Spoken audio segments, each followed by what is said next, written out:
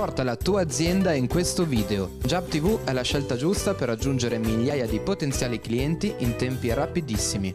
Chiama ora il numero 320 22 45 117 o scrivi a spot-jabtv.it per valutare senza impegno tutte le nostre offerte. Sarà Sergio Pomponio, ex capo di gabinetto della prefettura di Venezia e attuale viceprefetto vicario di Pavia, a guidare Voghera sino al ballottaggio tra Carlo Barbieri e Pierezzo Ghezzi. Ed è proprio quest'ultimo a dirsi soddisfatto per un iter che si è concluso positivamente, proprio come aveva voluto il TAR. Pomponio è una figura di grande esperienza, dice Ghezzi a Jab TV, che ho avuto modo di conoscere durante la giornata del riconteggio dei voti, apprezzandone l'alta competenza. Pomponio avrà la totale collaborazione del Partito Democratico della lista civica, assicura il candidato sindaco di centrosinistra, che ribadisce la volontà di accorciare i tempi e tornare al più presto alle urne. Resta, come noto, l'incognita del ricorso di Barbieri al Consiglio di Stato.